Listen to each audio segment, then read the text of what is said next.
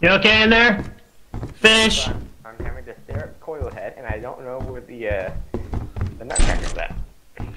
He's in the main room. Maybe I should put this comedy mask on and accept my fate.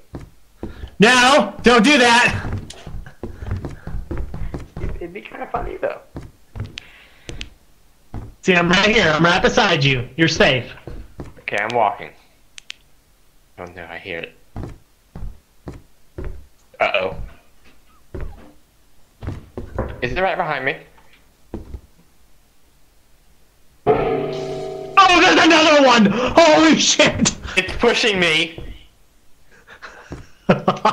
Oh no! I'm oh, no! I'm so sorry, fish. No!